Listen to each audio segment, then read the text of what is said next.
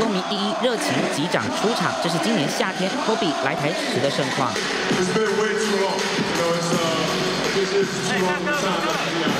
高喊着想念台北，但如今宣布要隐退，最不舍的恐怕就是这群人了。这也就是我收藏球鞋的房间。踏进收藏室，从地板到天花板堆满各式 Kobe 球鞋收藏，随便几双摊开来超壮观。今年二十岁的球鞋收藏家小兵，从十二岁开始就迷上 NBA，光是 Kobe 球鞋就有一百多双，全都价值不菲。但最特别的还是这双，史上总得分超过了 Michael Jordan，变成史上第三。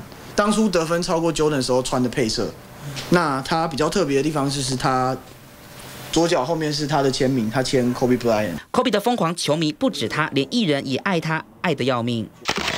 艺人潘玮柏也在脸书上抛出过去和 Kobe 的合照，只说看他要退休了，很伤感。为什么台湾人不论老少都这么爱 Kobe？因为他跟篮球之神乔丹真的太像了。切入禁区，空中拉杆，闪过防守者，再打板得分，一老一少动作不但一模一样，就连招牌吐舌头也是一个模子刻出来的。